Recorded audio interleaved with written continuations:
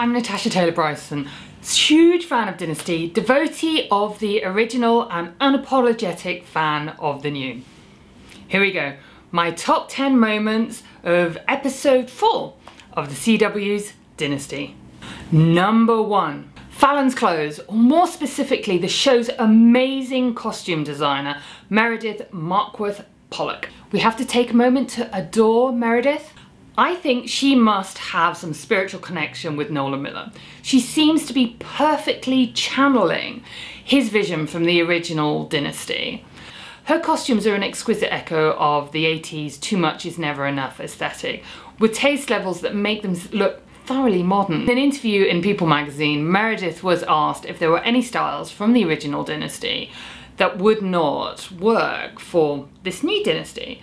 And her response was perfect. She just said, no, not really. Even shoulder pads, I'm down with shoulder pads.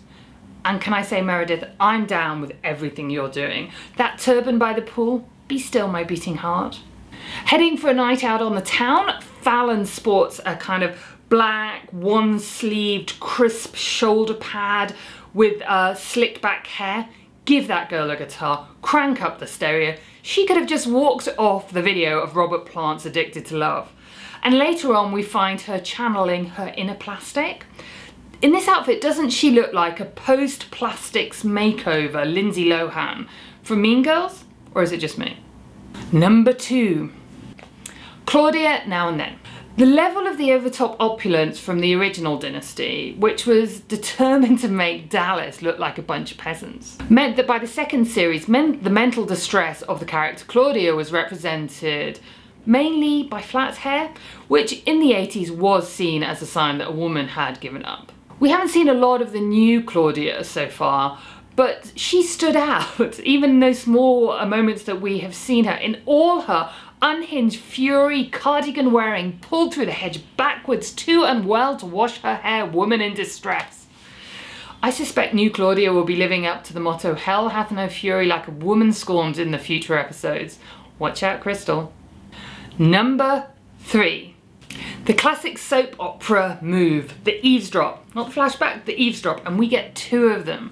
Sam overhears Blake talking to the police chief Stansfield and realises that his friend has stolen something much more valuable than his aunt's ring. Gets completely panicked and caught out by Anders.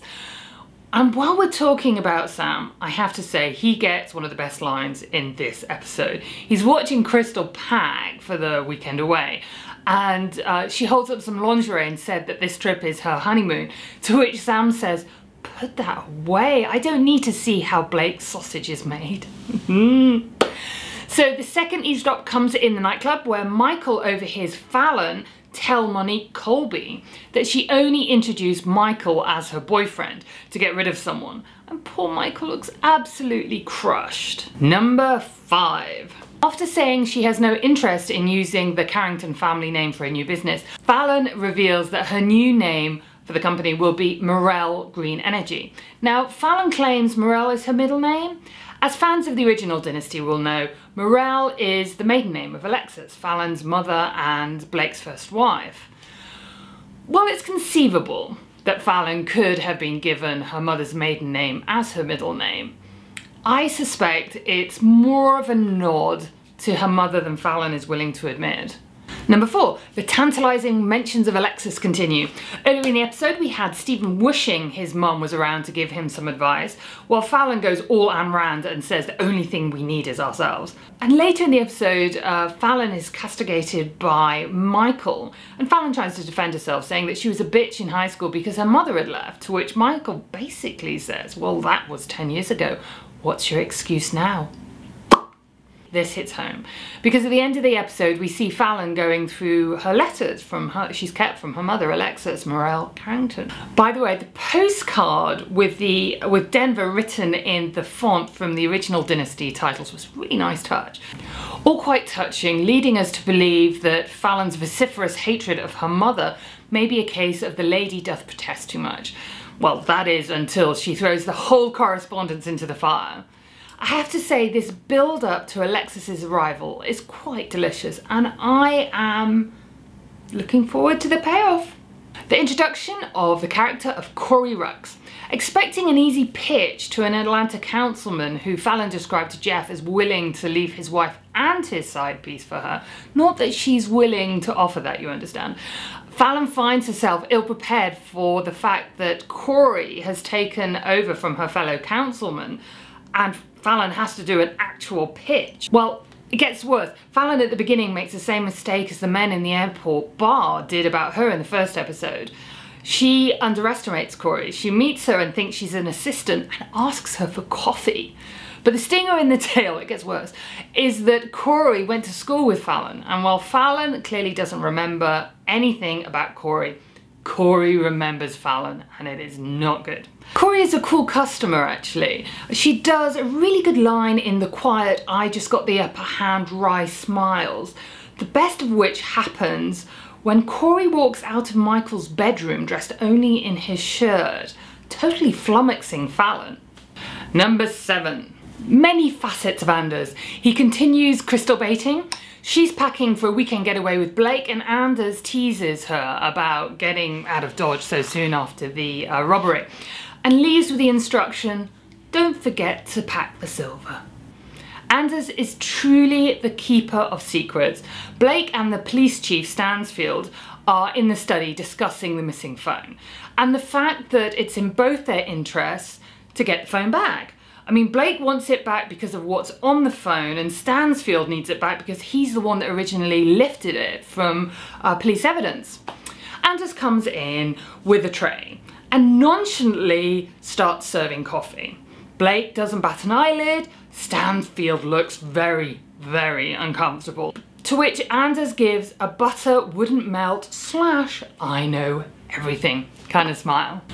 Later in the episode, Michael invites Anders to a game of basketball. and can we just take a moment to say how glorious is Michael shooting hoops? Oh my word. Now, I grew up playing uh, netball, so if you throw me a basketball, there is no way I can move my feet without hearing my old PE teacher blow her whistle and shout travelling at me. But Michael, I would shoot hoops with you anytime. Well, unlike Anders, who, when invited to play, says that would require sweat and remains stiff as a board. as Michael throws him the ball, Anders is so buttoned up, he makes Sherlock Holmes look like a freewheeling hippie. Queuing. Or more specifically, Fallon's line from the nightclub, how do people live like this, waiting in line? Proof that the rich have had their lives denuded of the simplest pleasures. In England, queuing is a national sport. Even it's even said that if a person stands still too long in England, somebody's going to form a line behind them. Not that we would call it a line. It is seen as the cornerstone of civilized society, and thus Fallon, in her refusal to stand in line, signals her 1% of the 1% status loud and obnoxiously proud. Number nine, Jeff calling out Fallon. Finding out that Fallon failed to turn up for a business pitch, which they'd subsequently lost, because she was preoccupied with talking to the press about Cristal's sex tape. Jeff is not a happy man and says, I'm guessing you never played team sports as a kid. We're supposed to be in this together. You're no longer the only one who pays for your mistakes. And with this, poor, too rich to care, bitchy Fallon has more or less been called out by everyone in this episode. Number 10, the cliffhanger. Well, actually, it's the story that Blake tells Cristal about Stephen in the lead up to the let's have no secrets between us cliffhanger. Blake claims that Matthew tried to bribe him about an incident where Steve mucked up, Stephen mucked up on the job, which led to a man's death. And in an attempt to protect Stephen from the knowledge that he had actually caught, was responsible for somebody's death, May, uh, Blake had Matthew write it off as faulty machinery. Not knowing too much about Blake at this point, other than he lies a lot, only in order to protect his family, you understand. I'm getting uh, a serious unreliable narrator vibe from Blake. Can we believe anything he said? I mean, who can you trust? It's Dynasty. Can you trust anyone? I knew we weren't that ugly. I knew it.